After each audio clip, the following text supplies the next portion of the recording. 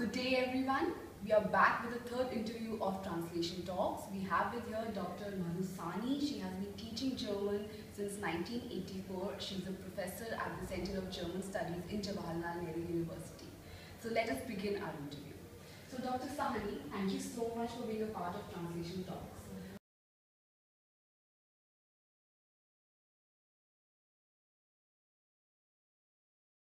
Well, to be very honest, I'm not translator. I wish I were. Uh, it's got to do more with the fact that um, when I started teaching, I did translate a few texts of Clara Zetkin, but that was over one summer vacation. I still wasn't teaching so many hours, and it also made me understand how difficult translation as a job is. Hmm. So then for many years I have actually not really done too many translated uh, tra translations. I did one smallish text of uh, Heinrich Böll's into English and one text of Christian Chander's into German. The second, the last one is not being published, the other stuff is all published.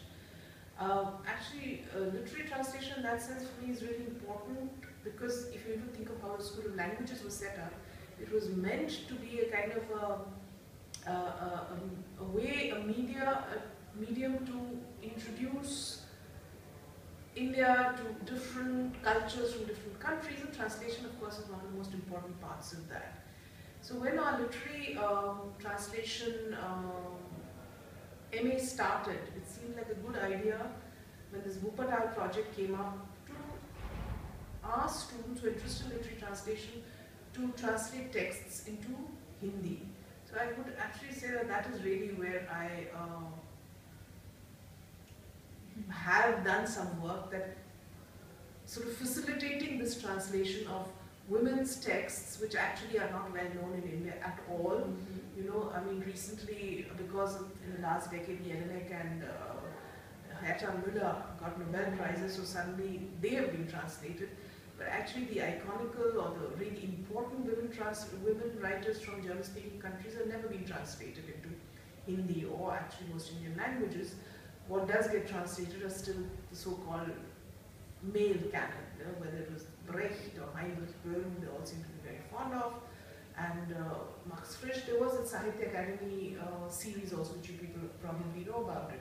And there again, you will see it's, they were modern writers, they were post-war writers, but they were all men. You know, even if it's Günter Eich or something, it was all male writers were translated. And of course, we've got people like uh, Vishnu Khare, who has done another translation of Faust, so we do now have two or three translations of Faust into Hindi.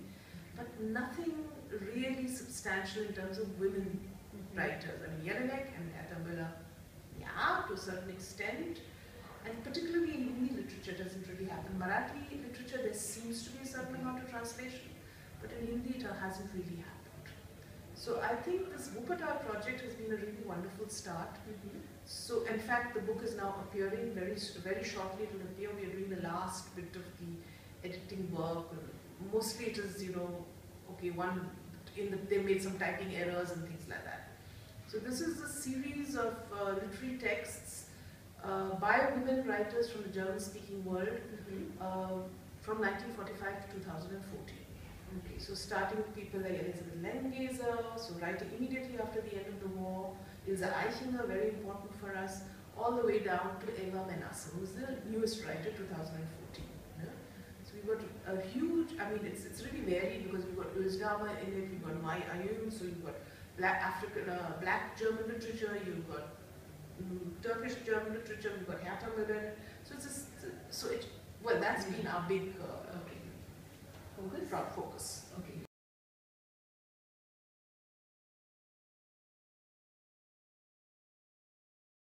Well, I guess the point would be, as I just mentioned, you know, if you say I want to translate Herta Müller and hmm. Elfriede Jelinek, you might find translators simply because they won the Nobel Prize.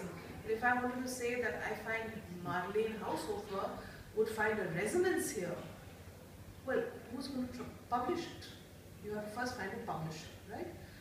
And for me, actually, if I think of my experience over this last two years, last three years rather, the biggest issue beyond helping students get the translation done and uh, was to actually find, uh, get hold of the copyright. Okay. Getting copyright getting the rights for translation is a huge, huge issue. Writing to people, getting hold of, and also because it is expensive. You know, the the exchange isn't exactly very favorable to us. So although many publishers were kind enough not to ask us because when they heard that it was a student project, some obviously insisted and they have the right to insist on it. But they were also kind enough to say, okay, we'll take the minimum, which was 50 euros. Okay. When you think in, in, a, in, a, in an anthology, Mm. and there are over 15 writers, a 50 euro each time also becomes a lot. And of course, this part, this this whole translation I have to add was only done and was it was facilitated through the DAAD. You know that there is this uh, this this exchange between India and uh, between JNU and Wuppertal and with Ursula Kocher. So that facilitated so that students from here could go to Germany, interact with German students. German students came here, so they uh, stayed together for six months in order to understand the texts.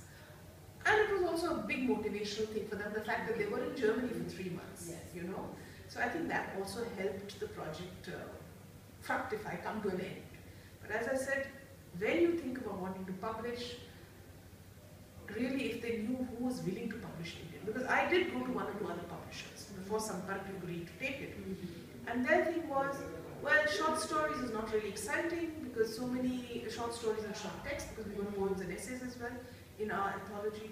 But, uh, you know, plenty of Hindi speaking, Hindi writers are writing really exciting things, why would we want translations?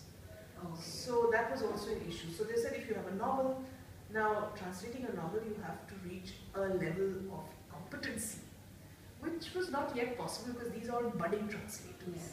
you know, and out of the 12 translators Indian from, from JNU, I would say there were at least four Mhm. Who were absolutely excellent translators. Absolutely excellent. Four. of them.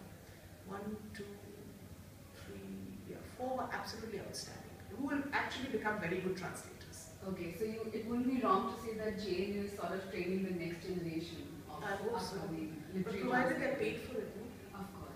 that's the other big issue, you know, which is an issue even in Europe because I have a friend who's a translator, professional translator, and who would like to ideally always do literary translations, but that pays very badly. Mhm. So she works with, uh, you know, Zeitschrift magazines, translates for them so that she can earn her bread and butter. So I think uh, for translators, this is also a huge problem. No? Am I going to be able to earn money from this? Because it's it's a labor of love. It's not really you're not doing this for any other reason.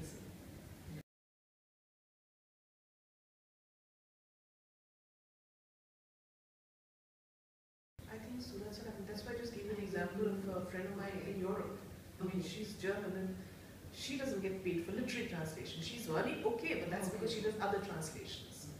And budding translators, yes, it is an encouragement if they are paid properly. Mhm. And if they also get, you know, like a trip to Germany, because it helps to read German literature in Germany and be able to attend classes and understand how it is. I mean, even like the workshop atmosphere about uh, interacting with German literature. Because you can't forget that many of these people who are translators, I mean, as I said, there were four who I found really good.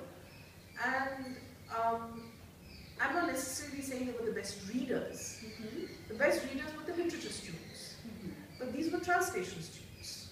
The four that I'm thinking of, only one is a literature student out of the four. Okay. Three were translation students. Mhm. So initially they were not good readers. They became good readers over the course of it, but they were good translators. You know, Mhm. whereas the, lit- the literature students who are part of this uh, project, they read very well, Mhm. but of course they had issues in finding strategies of translation. Okay.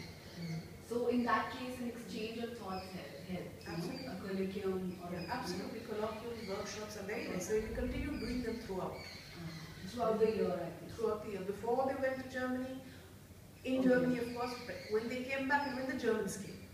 So we had continuous exchange. It was actually it became almost like another course. And uh, in Wuppertal, they had German partners as well. Yes, six. Germans and six Indian students worked together. Okay.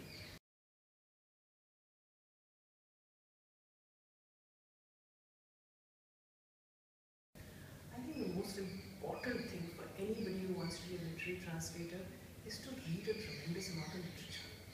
Because I think that's the problem that I found happening over and over again when you cannot understand literary language. And of course, you need to do it in both the.